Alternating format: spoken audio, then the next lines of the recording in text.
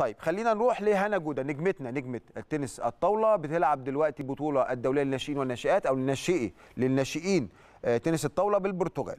هنا جودة الجرعة جنبتها تلعب دور ال 32 طب ليه جنبتها؟ لأن هي ترتيبها متقدم جدا آه، في آه، تحت 15 سنة. هتلعب أول ماتش ليها في البطولة طبعا زي ما عرفت قلت لحضراتكم بكرة على طول في دور ال 16 مستنيين كتير طبعا. طب ترتيب هنا إيه؟ ترتيب هنا على مستوى السيدات آه السيدات. بالرغم إن هي عندها 15 سنة بس بتلعب سيدات. ترتيبها كام على مستوى العالم 387 متخيلين يا جماعة؟ بسم الله ما شاء الله. دي صورة هنا جودة.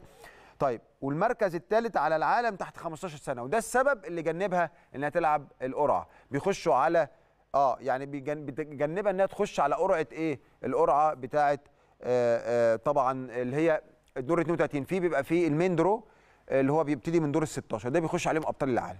وفي التصفيات بتبتدي من دور ال 64 أو whatever 104 100 دور ال 64 أو دور ال 32 ولكن هنا جودة طبعا عشان ترتيبها متقدم جنبتها القرعة آه، تصفيات ولكن دخلت على ال main draw على طول.